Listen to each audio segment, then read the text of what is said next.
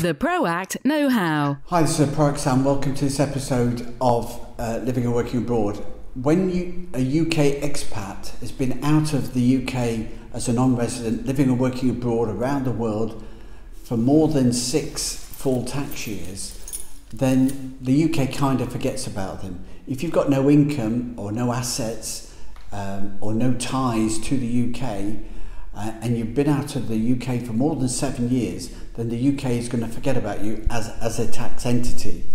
So that means that if you've been a, uh, a long-term resident, uh, living and working abroad, and you return to the UK, you can go back in without fear of being taxed on that overseas income, even in the current year. Uh, you could apply for split year treatment, which, which would ring fence all the income up until the day you go back into the UK. Timing that can work for you quite well as well to maximise your use of allowances.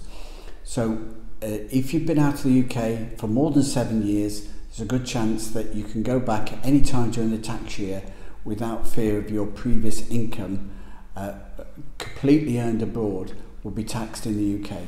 For any more advice, free reviews online, or to join our retainer service for UK expat clients living and working abroad, contact us at proactpartnership.com. The Proact Know How, brought to you by Proact.